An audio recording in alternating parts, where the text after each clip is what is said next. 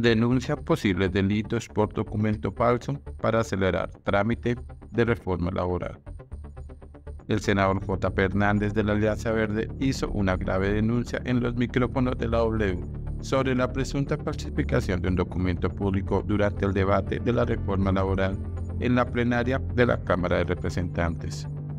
Según Hernández, su nombre y el de la presidenta de la Comisión de Ética de la Cámara, Ingrid Aguirre, de Fuerza Ciudadana, fueron suplantados en un documento que buscaba autorizar a la mesa directiva de la Cámara a resolver algunas recusaciones presentadas para destrabar la discusión de la reforma.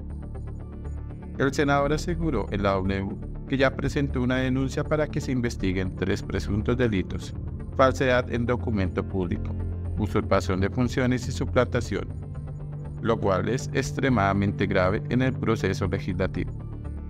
El documento que es motivo de la denuncia fue leído durante la sesión del 1 de octubre y supuestamente contenía la firma del senador y de su homóloga en la Cámara, pero, según Hernández, cometieron una falsedad.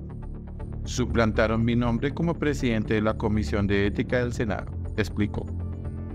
De acuerdo con el senador, esa maniobra se hizo para avanzar en la aprobación de la reforma laboral ya que el presidente de la Cámara fue recusado y debía abandonar la sesión a la espera de que la Comisión de Ética resolviera la recusación.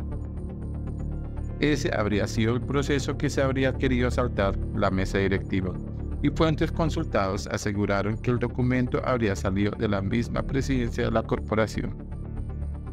La W consultó a Jaime Raúl Salamanca, presidente de la Cámara, quien negó que fuese así y afirmó que está realizando las indagaciones correspondientes sobre quién falsificó el documento.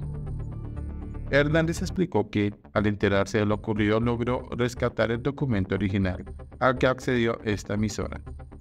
En este se constata que efectivamente se utilizaron los nombres con membrete. El documento dice que las mesas directivas y los presidentes de las comisiones de ética están autorizados a la plenaria de la Cámara, dijo.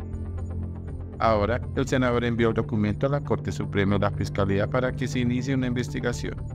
Pues si aquí alguien indujo el error, fue la mesa directiva, y esa persona tiene que responder, comentó.